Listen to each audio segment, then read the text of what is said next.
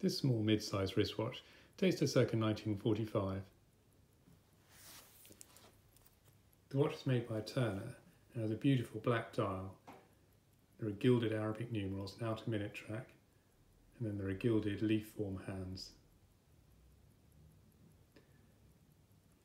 The steel case has a chamfered bezel and it's a two-part case. There are downturn lugs,